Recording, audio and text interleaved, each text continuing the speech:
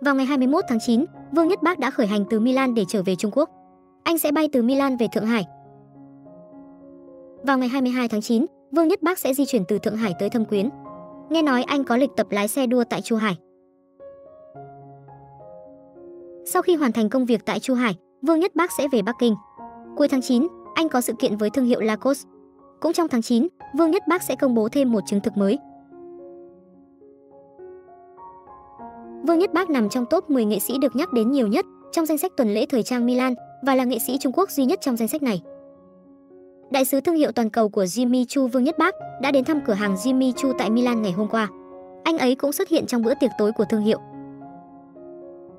Nhiều cơ quan truyền thông nước ngoài đã đưa tin về sự xuất hiện của Vương Nhất Bác tại tuần lễ thời trang Milan. Đây là lần đầu tiên anh tham dự show thời trang của Jimmy Choo với tư cách người phát ngôn toàn cầu. Chuyến công tác của Vương Nhất Bác rất thuận lợi và thành công. Anh ấy và đội của mình hiện đã có mặt tại sân bay Milan để khởi hành trở về Trung Quốc.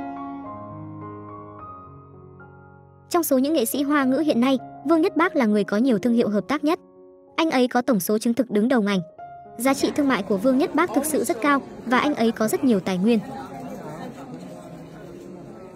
Sau khi xuất hiện tại tuần lễ thời trang Milan, Vương Nhất Bác sẽ về Chu Hải để tiếp tục tập luyện với những chiếc xe đua. Anh ấy thực sự là một nghệ sĩ năng động và đa tài.